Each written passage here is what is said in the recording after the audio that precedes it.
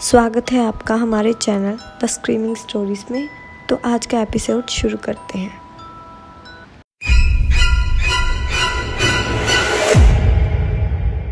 केशव राय के farm house से निकलकर युग और जूली वापस, युग के फ्लैट की ओर चल पड़े।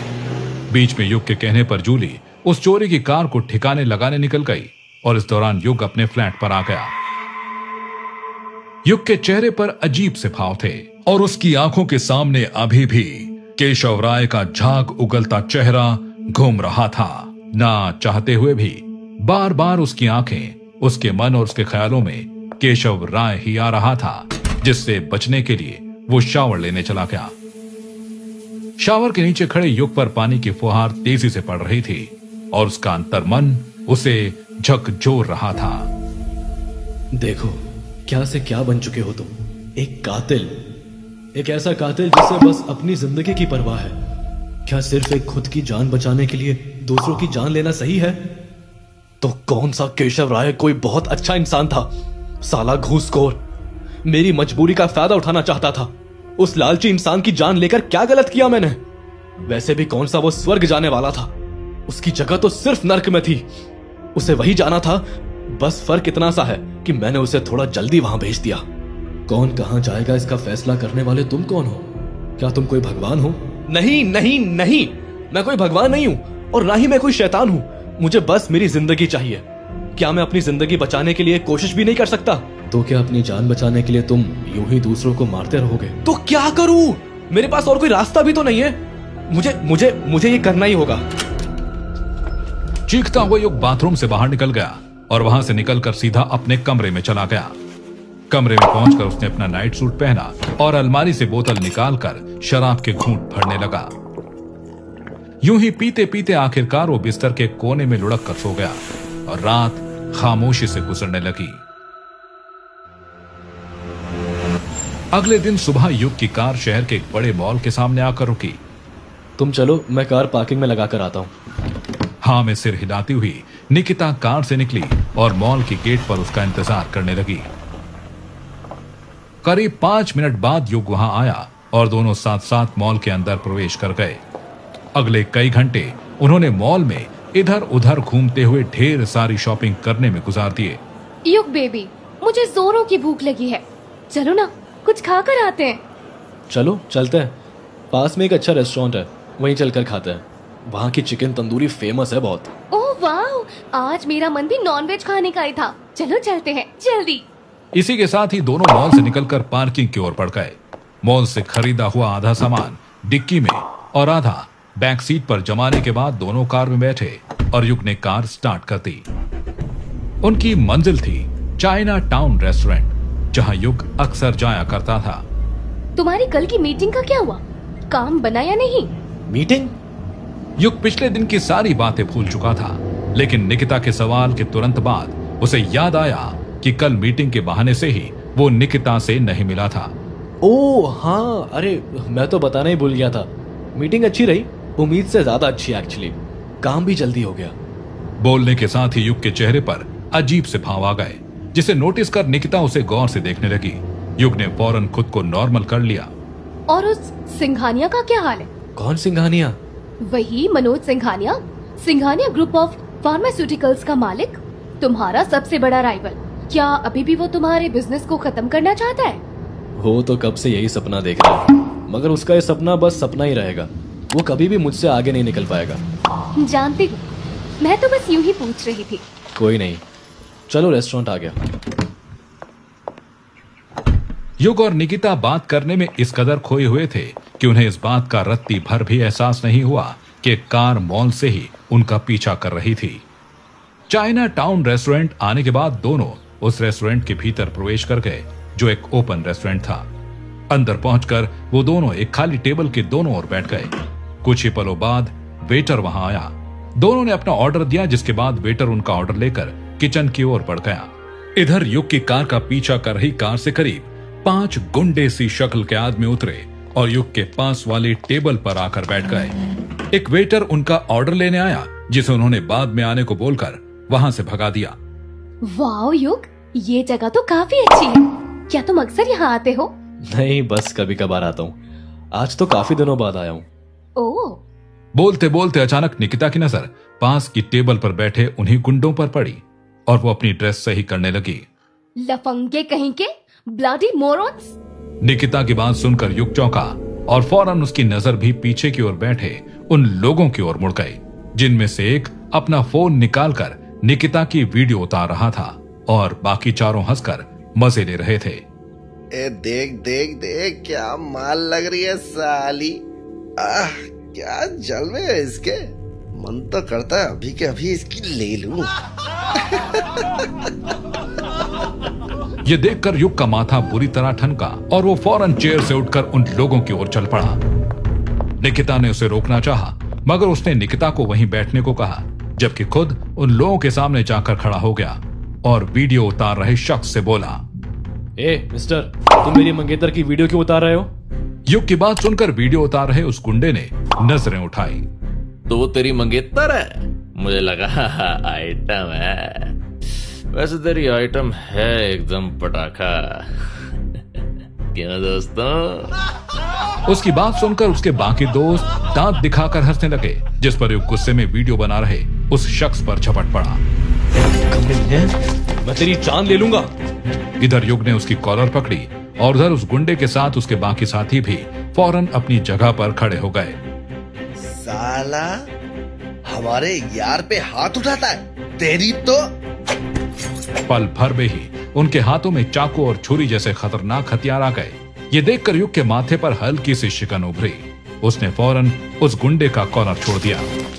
मगर उन लोगों का इरादा खतरनाक लग रहा था।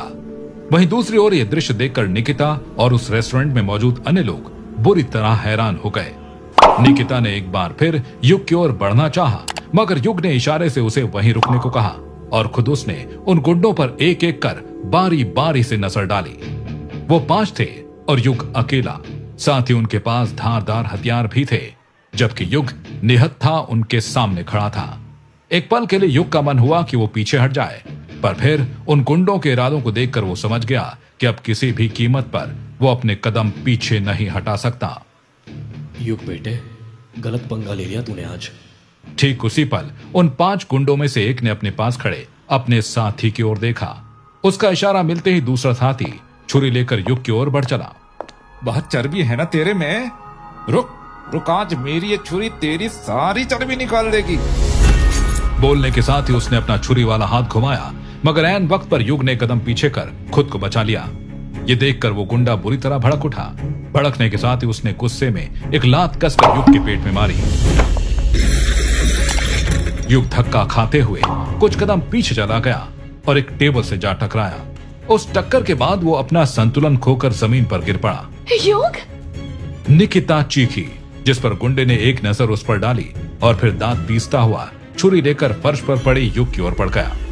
फर्श पर गिरे युग को मानो सांप सूंघ गया। वो जानता था कि अब उसका बचना नामुमकिन है। उसकी मौत के साथ ही शाश्वत से किया हुआ उसका कॉन्ट्रैक्ट भी खत्म हो जाने वाला था। वो चाह कर भी अब कुछ नहीं कर सकता था। तो क्या युग सच में मारा जाएगा? अगर ऐसा हुआ तो फिर शाश्वत से हुए उस कॉन्ट्रैक्ट को कौन पूरा करेगा? दर्जनों लोगों के बीच युग उस रेस्टोरेंट के फर्श पर पड़ा था जहाँ पर एक और उसकी मंगेतर निकिता मदद की आंस लगाए इधर उधर देख चीख चिल्ला रही थी। Please help! somebody please help us! वह इन पाँचों में से एक गुंडा तेज धारदार छुरी लिए युग की ओर बढ़ रहा था। सब सांस रोके वो दृश्य देख रहे थे कि तभी अचानक युग ने अपनी आँखें बंद की और पूरी ताकत से चिल्लाकर शाश्वत को पुकार उठा। शाश्वत? युग को जरा भी एहसास नहीं था कि उसने उस पल में क्यों शाश्वत को पुकारा। लेकिन उसे पुकारने के बाद उसने मौत के डर से अपनी आँखें बंद कर ली। वो इंतज़ार करने लगा कि कब वो गुंडा उस पर हमला करेगा। लेकिन कुछ पल गुजर जाने के बाद भी जब उस पर कोई हमला नहीं हुआ तो चौंक कर उसने अपनी आँखें खोली और हैरान रह गया। वो उस वक्त रेस्टोरेंट में नहीं, बल्कि नर्क में था। ठीक शाश्वत के सामने मैं मैं वापस नर्क में कैसे आ गया? कहीं कहीं मैं फिर से मर तो नहीं गया? अभी तक तो नहीं। पर जल्दी ही मरने वाले हो। वैसे तुमने मुझे क्यों पुकारा? क्यों पुकारा से क्या मतलब है? क्या तुम मेरी मदद नहीं करोगे भला मैं तुम्हारी मदद क्यों करूँगा? शाश्वत के मुँह से इस तरह का दो टूक जवाब सुनकर युग हैरान होकर उसे बुरी तरह घूरने लगा। क्योंकि मेरी मौत से तुम्हें कोई फ़ायदा नहीं होगा। लेकिन अगर मैं ज़िंदा रहा तो बैठे बिठाए तुम्हें तेरह इंसानों की आत्माएँ मिल जाएँगी। दो आत्माएँ तो तुम्हें मिल भी चुकी है लेकिन बाकी की आत्माओं को पाने के लिए तुम्हें मुझे ज़िंदा रखना होगा। तुम्हें मेरी मदद करनी ही होगी। इतना कहकर युग शाश्वत का चेहरा देखने लगा, जिसके चेहरे पर सोच के भाव नज़र आ रहे थे। तुम्हारी बात में दम तो है। तुम्हारी मौत से ज़्यादा फ़ायदा मुझे तुम्हारे जीने से होगा। ठीक है। फिर मैं तुम्हारी मदद करूँगा।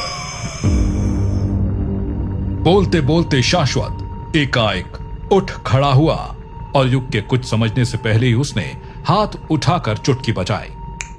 अगले ही पल सब कुछ बदल गया और वे किसी बेहद अंधेरी जगह पर खड़े थे जहाँ पथरीली और ऊबड़ खाबड़ ज़मीन पर सफ़ेद चाक से एक अजीब गोलाकार आकृति बनी हुई थी।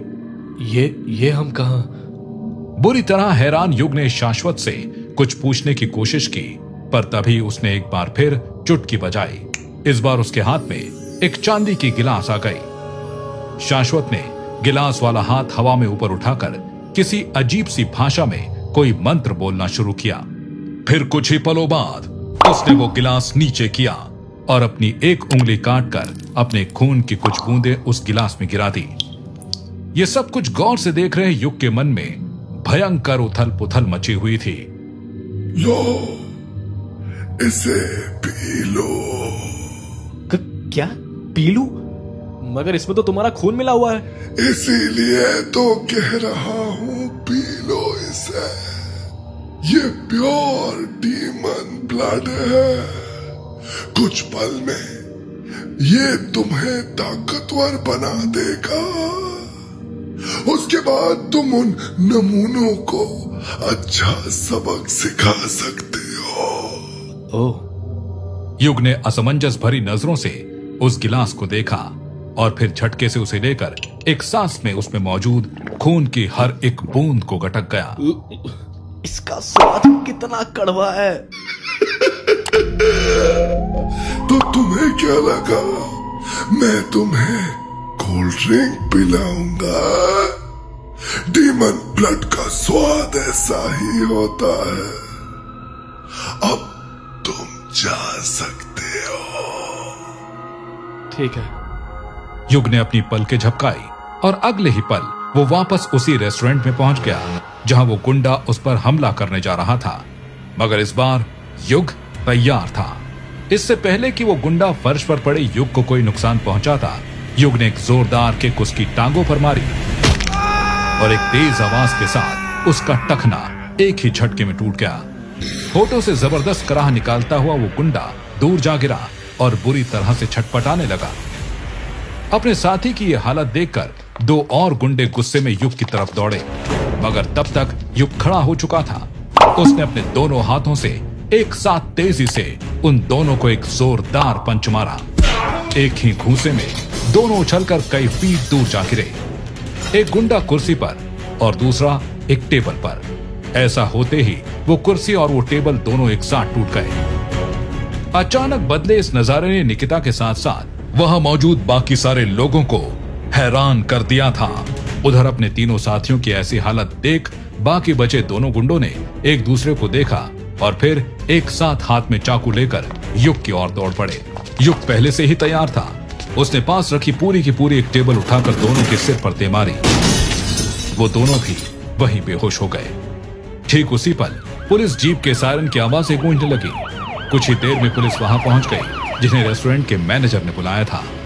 वो मैनेजर युग को अच्छी तरह पहचानता था इसलिए उसने युग की बजाय सीधे उन गुंडों की ओर इशारा करते हुए कहा सर यही है वो गुंडे जो हमारे रेस्टोरेंट में घुसकर मारामारी और तोड़फोड़ कर रहे हैं। मैनेजर के कहने पर कुछ पुलिसकर्मियों ने तेज़ी से आगे बढ़कर उन गुंडों को हिरासत में ले लिया और फिर वो मैनेजर युग की ओर मुड़ा। आप ठीक तो है सर। जवाब में युग ने हाँ में सिर हिला दिया और टूटी फूटी कुर्सियों और टेबलों की ओर देखने लगा। मैं ठीक हूँ मगर आपका काफ़ी नुकसान हो गया। डोंट वरी मैं इसकी भरपाई कर दूँगा। कोई बात नहीं सर। आप सेफ़ हैं हमारे लिए यही सबसे ज़रूरी है। आ, आप आप बैठिए मैं आपको ऑर्डर भिजवाता हूँ। ओके। वो मैनेजर चला गया और युग निकिता के साथ वापस अपनी टेबल के पास बैठ गया। सबकी नज़रें युग पर टिकी हुई थी और ये बात युग भी साफ़ साफ़ महसूस कर रहा था। थोड़ी ही देर में उनका खाना आ गया। मुझे पता नहीं था कि तुम इतनी धांसू फाइट कर लेते हो। मुझे भी अभी अभी मालूम चला। क्या? आराम से जाओ। ऐसा भी क्या कह दिया मैंने? लो पानी पी लो। वैसे सच कहूँ तो तुम अभी मुझे पूरी तरह जानती ही कहा मुझे और भी बहुत कुछ आता है। युग की बात सुनकर निकिता जो खुद को संभाल चुकी थी उसे अजीब सी नज़रों से घूरने लगी पर उसने उससे कुछ कहा नहीं। दोनों ने चुपचाप अपना खाना खत्म किया और घर की ओर चल पड़े। युग उस समय कार ड्राइव कर रहा था। बीच बीच में उसकी नज़र निकिता पर भी जा रही थी जो काफ़ी देर से उसे घूर रही थी। क्या हुआ? ऐसे क्या देख रही हो? नहीं कुछ नहीं। कहते हुए निकिता खिड़की से बाहर देखने लगी। हालाँकि उसने युग से तो झूठ बोल दिया था मगर उसके मन में बहुत कुछ चल रहा था। आखिर युग को हुआ क्या है? ये पहले तो ऐसा नहीं था। और वो सब क्या था? क्या एक नॉर्मल इंसान इस तरह अकेले इतने सारे लोगों को पीट सकता है? और वो भी इतनी बुरी तरह से? नहीं आई एम श्योर युग के साथ कुछ गड़बड़ है। अब तो मुझे राज और डीके से बात करनी ही पड़ेगी। क्या हुआ? तुम फिर से क्या सोचने लग गई? कुछ नहीं बाबा। लो तुम्हारा घर आ गया। युग की बात सुनकर निकिता चौंक गई और उसने पलटकर कार की विंडो से बाहर देखा तो पाया कार ठीक उसके बंगले के गेट पर बाहर खड़ी थी। निकिता तुरंत कार से बाहर निकल आई। बाहर आते ही उसने युग से कहा अंदर नहीं आओगे? मम्मी पापा से मिल लेते। उसकी बात सुनकर युग ने पल भर सोचा और फिर कार से उतरने को हुआ कि तभी उसके फ़ोन की घंटी बज उठी। उसने मोबाइल फ़ोन बाहर निकाला और देखा तो किसी अननोन नंबर से कॉल था। हेलो? राधे राधे मल्होत्रा साहब। इंस्पेक्टर उदय बोल रहा। इंस्पेक्टर आप? आज मुझे कैसे कॉल कर लिया आपने? क्या करूँ सरकार? मारे से रहा नहीं गया इसलिए कॉल कर लिया। कोई ज़रूरी काम? बहुत ज़रूरी सरकार बहुत ज़रूरी। बस इतना समझ लो कि मारी जान अटकी पड़ी है आपसे मिलने के लिए। जान अटकी है? पहली मत बुझाइए इंस्पेक्टर। सीधे सीधे बताइए क्या ज़रूरी काम है आपको मुझसे? बता देवेंगे सरकार। पहले आप थाने में तो शरीफ तो ले आओ। इंस्पेक्टर आखिर बात क्या है? हुआ क्या है? जा बालक पूरी बात जानकर माने। क्या? एक केस के सिलसिले में तो उसे बात करनी मल्होत्रा। जल्द से जल्द थाने आ जाओ। कैसा केस? सारी बात फ़ोन पे ही जान लेनी है तन्ने। अरे थाने आ। आमने सामने बैठ के बात करें। और नहीं आना तो बतला दियो। हम आ जाएँगे तारे हाथों के लिए सरकारी कंगन लेके। युग सक पका उठा। उसने दबी आवाज़ में ओके बोलकर कॉल डिस्कनेक्ट कर दिया। फिर वो पास खड़ी निकिता की ओर मुड़ा जिसके मन में ढेरों सवाल थे। मुझे जाना होगा। मम्मी पापा से फिर कभी मिल लूँगा। इस वक्त कहीं और जाना ज़्यादा ज़रूरी है। निकिता के कुछ कहने से पहले ही युग ने कार आगे बढ़ा दी। निकिता बस युग को जाते हुए देखती रही। उसके मन में भयंकर उथल पुथल मची हुई थी। क्या निकिता कभी युग की ज़िंदगी में चल रहे तूफ़ान के बारे में जान पाएगी? डीमन ब्लड युग की ज़िंदगी में कैसे बदलाव लाएगा? जानने के लिए सुने नर्क के भयानक मंजर से आपको रूबरू करवाती इस कहानी का अगला भाग। तो आज का एपिसोड होता है यहीं ख़त्म। आगे का एपिसोड देखने के लिए चैनल को सब्सक्राइब करें।